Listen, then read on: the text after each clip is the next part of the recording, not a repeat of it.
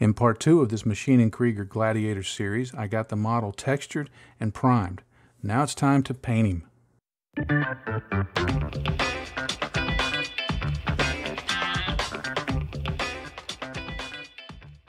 Now the first step in getting this guy painted is to give it a coat of Tamiya XF62 olive drab. And I'll do this off camera because there's nothing exciting about just painting it a solid color. Now you can see that I've put down the base coat of the olive drab. What I did was I first put down just a solid coat of XF62 olive drab and then I grabbed some of my XF60 dark yellow, lightened up the olive drab just a bit, maybe one part of this to about five parts of this. I'm not sure exactly because I just did a hot mix in the color cup. But um, I mottled it lightly on the sides just to give some distressing. And then on the upper surfaces, I just painted it that solid color. So there's just, just the slightest bit of modulation between the top and the sides. And the undersides, I didn't spray any of the lighter color on. So it left it with the darker uh, color. And now what I'm going to do is I'm going to go in and I'm going to paint in some other lighter uh, variations of this XF62 so that I'll do some more mottling on the top and uh, some streaking down the sides with a couple of different uh, couple of different colors and that's just going to go towards even more making the the finish look you know faded and varied and things like that and uh, hopefully look like it's been outside for a little bit. You'll also note that I added this bit of stowage. Um, it's just a resin uh, piece, single cast resin piece, very good piece. Um, and if you're wondering, well, how's it hanging on there? Uh, besides the obvious super glue, but you know, if you were thinking of it in real life, how's it hanging on there? I don't know. I'm not too worried about it. Um, we'll assume that there was some kind of metal projection stuck on there and uh, they were able to put these straps on it and that's how they have stowage hanging on the side. I just thought it would look really cool to have that have that on there. It's from a company called Value Gear, and uh, they sell uh, resin stowage for uh, sci-fi, fantasy. Um, a lot of it could work on just military vehicles too. But the cool thing is um, they sell stuff in 120th scale. Uh, as well as 135th scale and other scales, but being in 120th scale, it was perfect for uh, Maschinen Krieger. So I got that stuck on there and get the opportunity to paint that later on. Using the same base mix, I lightened it up with a little bit of XF57 buff and uh, begin just mottling that onto the, the upper surfaces of the model. And this was just a haphazard, uh, I don't even want to call it a pattern, just splotching it around to make it appear random and faded. And I didn't try and avoid panel lines or uh, anything like that. I just I just put it on there I'm using my Badger Patriot 105 for this. It's got a 0.5 needle. Um, you could use something that had a you know a 0.3 or a 0.2 or whatever, but um, I find I can do this just fine with my 0.5. On the sides, I did vertical streaking, just straight up and down, and uh, didn't do the the mottling because I feel like that's going to look uh, a little more realistic uh, to kind of show some streaking and uh, marks like that. And then after I had that done, I just went along the transition between the two and blended it in just a little so that it didn't look so stark. Of course, I've got to do the streaking up front too because there's this large frontal area um, that's going to get plenty of weathering uh, down the road. So I wanted to make sure and get that streaked.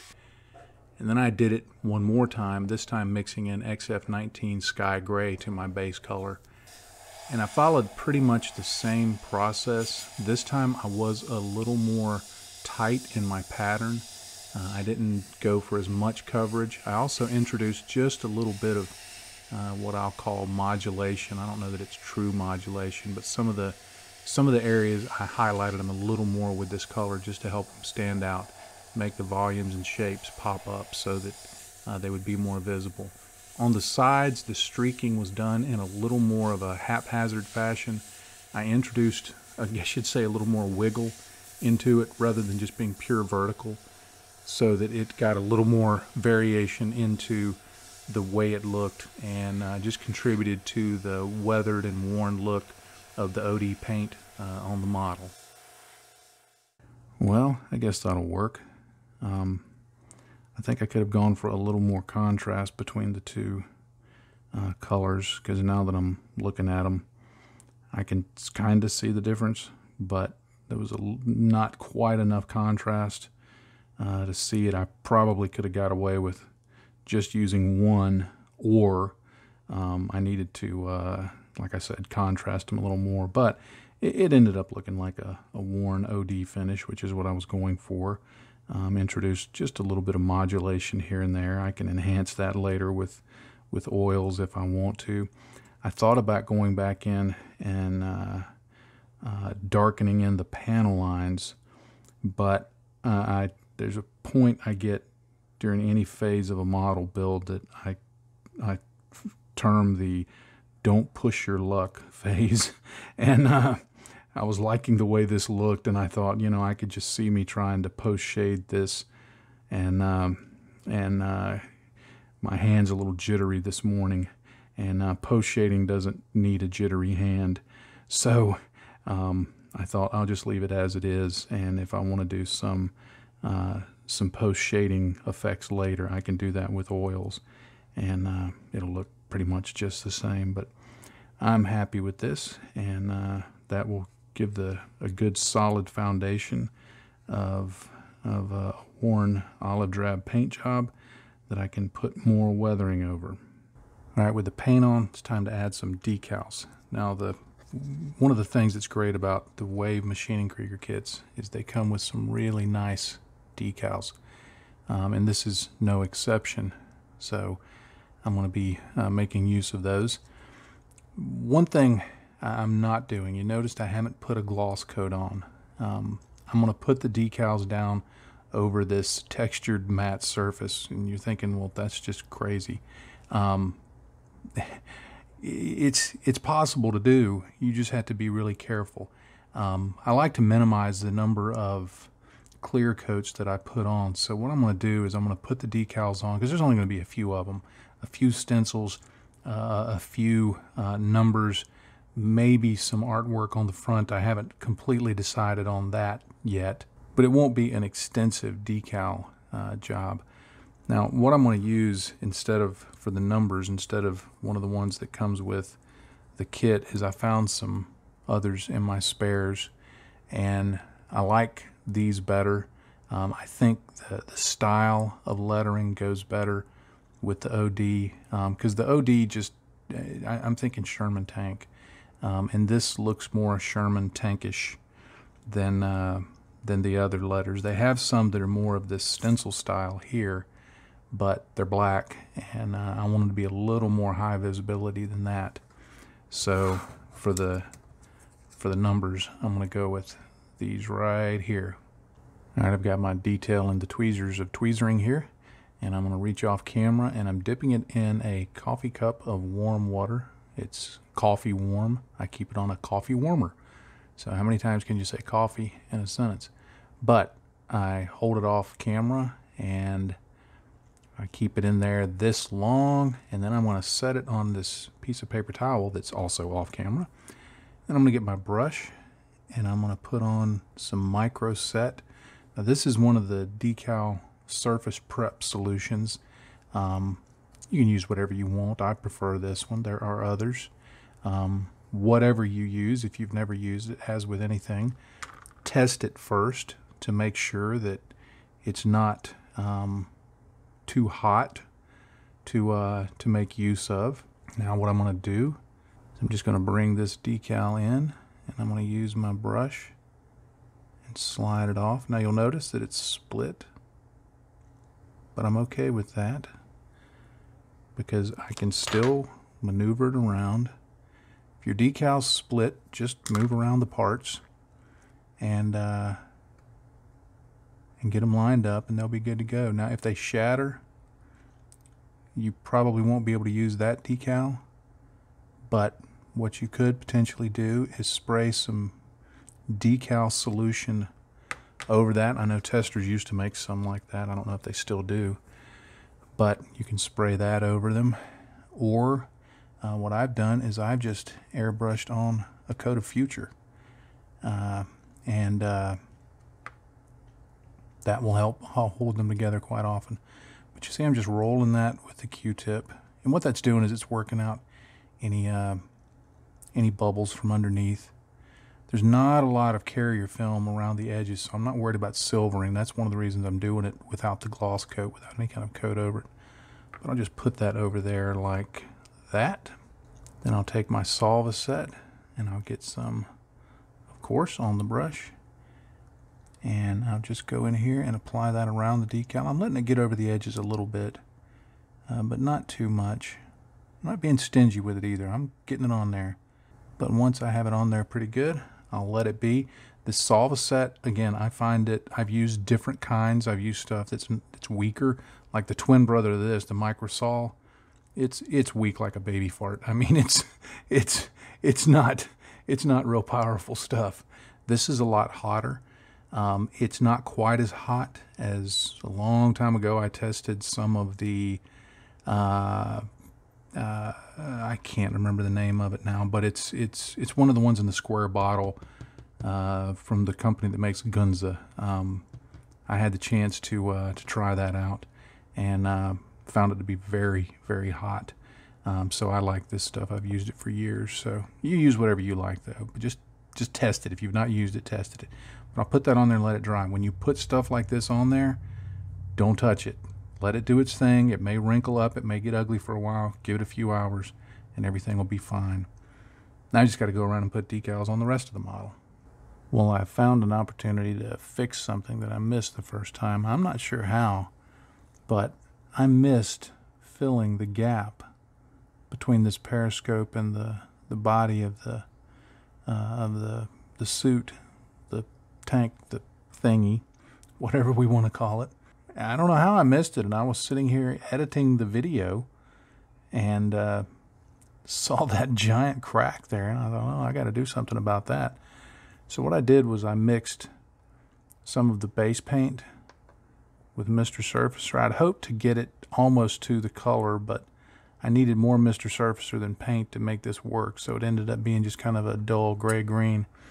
But what I'll do is um, I just I've been putting in, just brushing in with a fine tip brush like this, just dabbing some in, hitting it with the hair dryer, letting it dry a little bit, putting some more on, and uh, when I get it built up to where I'm happy with it, then I'll get this paint and my other two mixes that I used for the streaking and all that. And just again using this brush, just kind of dot that in. Whenever you see something like that, whenever I see something like that, I, I look at it and I go, is that going to show up too bad in the final final finish? And if the answer is yes, then I figure out a way to uh, fix it and move on. I painted these details on the underside with Citadel's Leadbelcher. And now I'm just going to go in and give them a coat of Citadel Nuln Oil just to bring out some of the shapes and uh, define the edges and things like that this will be, you'll be able to see it somewhat in the final analysis, but not in any great way. So I'm just going to shade them, probably do a quick dry brush highlight. And, uh, and then once I put the, the leg unit on, um, I'll just weather them later on, in, essentially weathering whatever can be seen fairly easily because a lot of this is going to be, it's not going to be completely covered up, but it's going to be definitely obscured. Here's a couple of examples of things that I do for, um, I add in for video purposes. Um, I put this Scorpion decal on here. It's actually from a P40 decal sheet. Um, I have one on the other side, and I planned just to have the one on there. And then I thought, well, that's not going to show up on the YouTube thumbnail. so I went in and put this one on this side too. And I think I'm just going to leave them both on there because the, the aircraft that used this had them on both sides. So I'll just um, say, well, I'm just kind of doing an homage to that. I'm also going to go ahead and paint this, this bedroll here. And I'm going to be using this Model Air light gray It's basically RLM02. Um, and I mean, this is the final color that I want to have on it. I definitely want to put in some shade and some highlights and things like that. But I would normally paint this after getting further into the weathering because some of the weathering is probably going to get paint onto this this bedroll uh, with some of the weathering products and I'd need to paint over it. But for the YouTube thumbnail, I want this to stand out a little bit from the rest of it. So I'm going to go ahead and paint it now and then knowing that I'll probably get some stuff on it later and have to paint back over it before I actually get to the details and the highlights. But um, if if you were building this uh, and you weren't worried about the video thumbnail, um, I probably wouldn't paint this until after a lot of this had been weathered, but that's going to be down the road a bit. Now on this lower mechanical area, I had, I think it was in episode two, may have been one, I don't recall. Um, I'd painted this with, Tamiya's X10 gunmetal, uh, which was a glossy color. And then uh, off camera, I gave this a coat of Nuln Oil, which brought out the recesses and dulled it down a bit. But now I'm going to go here and on this central mechanical part here, whatever it is, um, it's something that makes the legs move, I'm assuming, because it all attaches to the legs. But I'm going to give this a coat of Nuln Oil, and that's just going to start it down the road of looking oily because that's what I want this to end up looking oily and greasy. Uh, and again, this is going to be something where a lot of it's not going to be seen because the legs are going to go here and then there's going to be a cover over it uh, that will that will block view of much of it. But I do want to reward the person who looks in here real close and I want them to eventually see that there is some oily, grimy kind of stuff going on. So, Nuln or rather not Nuln oil, Agrax Earthshade is a great way to make things look oily. I went ahead and did a semi-dry assembly. I say semi-dry because these legs fit on here with, uh, there's some polycaps in there and I could probably get them back off but I doubt I'm gonna uh, I doubt I'm gonna force them through that because I'll be able to weather these down the road. Uh, even though they're they're stuck on here, that won't shouldn't be a problem. I say it won't be a problem. it shouldn't be a problem.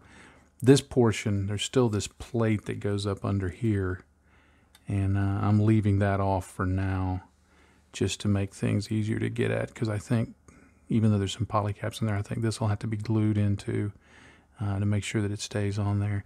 And then this is just set on top. If I pushed it over like that, it would just tip, topple right off. But it shows uh, shows where this thing is going, how it looks painted, and it's pretty big. I mean, I've got reasonably big sized hands, and uh, you know, it's it's uh um, would take two hands to kind of span uh, the footprint of this. So uh, it's it's a fairly impressive sized model. I decided to go with the flat feet. Um, most of the time you see it with the little pointy feet. Um, I decided to go with these because they just they just make more sense to me. When you got this much weight pushing down on things, those little tiny pointy feet, I I don't know where they would work. Uh, so maybe on the moon, you know, with no gravity, but I, I just thought these flat feet made more sense, so I went with them. But I'm liking how this is looking. Uh, it's it's uh, it's looking like a stompy tank. I mean, it's exactly what it's supposed to be. So I'm pretty happy with how this is uh, coming along, and it's a really really fun kit to work on. Well, thank you so much for watching this video. Um, I'm going to go ahead and say that this will end this episode because the things I would like to do next are going to take a little more time. That's going to be getting in on the weathering and starting that process. So uh, I'll save that for a future video. And uh, I do appreciate you watching, especially if you're still watching here at the end. Thank you very much for that. Uh, there's, you know the routine. There's links down below to the social media that I'm on. Uh, I have a Patreon account that if you would like to support the work that I do, there's a link down below to that. I've also added uh, YouTube membership. Uh, if you would like to support me that way, it's real easy. Just click the join button right down over here. And if you've not already subscribed, please do. There's a subscribe button over here also. And uh, hit the subscribe button and click the little bell icon so you'll know when I get a new video out. And if you would be so kind as to leave this, leave a like, a thumbs up for this video, and uh, just drop in a comment below and just let me know what you think of it or uh, you know your own build experience with this or if even if you're just saying hey Jon um, every like and every comment helps me out as I try to grow the channel so uh, I'm grateful for that and of course if you are one of the folks who is supporting this channel either through Patreon or YouTube thank you so much uh, you make this possible and I am so very grateful both me and my family are so very grateful for your support of the work that I do. Uh, it, it's what keeps me going, uh, keeps me in paint, keeps me in models, um, and uh, just keeps this channel going. So thank you very much. And as I always like to do, I'll leave you with one final thought. In this hobby, if you're not having fun, you're doing it wrong. Happy day to you, friends. Bye bye.